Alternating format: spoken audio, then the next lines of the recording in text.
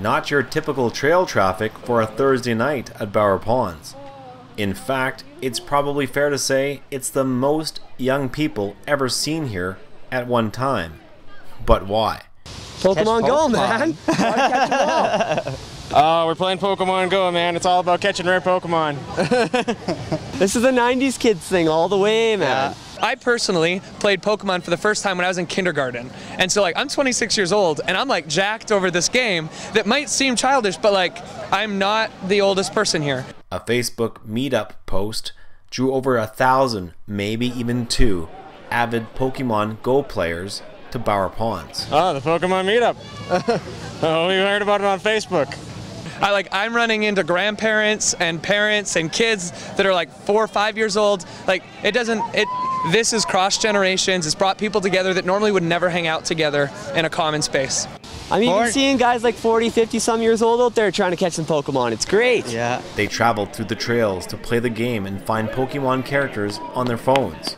They hunted by foot, wheels of all sorts, and even paddle through the ponds to find Pokemon. It's either they're boarding, they're bicycling, they're running, like whatever it is, they're all going. Like it's Yeah. just, it's a community. This Pokemon phenomenon has taken Red Deer by storm. Actually, like to explain it in words almost seems impossible. Um, one app released completely changing a community really Yeah, it's crazy how many people actually come out here and, and, and we're talking with all these different people oh, everywhere, not just here at Bower Ponds, everywhere, all over the city. On this night, gamers found Lapras, we got a Lapras not too long ago. Everyone shouted that one out. It was a little bit of a stampede just just for the Lapras. I'm actually getting one right now.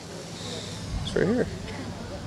We were on that side of the bridge. A few seconds later, we were on that side of the bridge. So Nope, missing them right now, unfortunately. Yeah. this is actually harder than it looks. You hear something, it's like, oh, we got a rare. All of a sudden, you got freaking 30, 40 people running full tilt. All right, I got him. I got him. So it's like everywhere you go, it's a treasure. Sometimes, like, you'll catch the things that are very common in the area, and once in a while, that, that big Pokemon will catch up, and you, you just give her, you go get it. even Pikachu and Spandy Andy made appearances.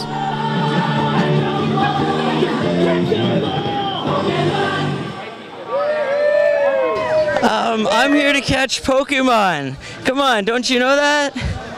I don't know how more obvious I can make it, except I don't have my Pokedex in my hand right now. While many people think Pokemon Go is a bit crazy, get this. It's kind of funny too because social media is taking it on a different way. Like everyone's like, "Oh man, all these kids are out and they're like walking in the way and they're walking on the streets, like they're on their cell phones." It's like you look like a couple months back, everyone was complaining that gamers never get out. Like we never get out, we never do anything. So Now we're out. look at us, Getting our We're- exercise. We're walking farther than the football players. I've definitely been walking a lot more outside since this came out. Oh, yeah, like- yeah, at least what, 20, 20K kilometers for a day? Yeah. I actually like the aspect that it takes you outside in the community and, uh, you know, you're more active and as opposed to being at home or staying indoors. Because of this game, people are getting active. It's a brilliant way to make a game. You have to move in order to hatch your eggs to get a new Pokemon. Well, I gotta move because I need that new Pokemon.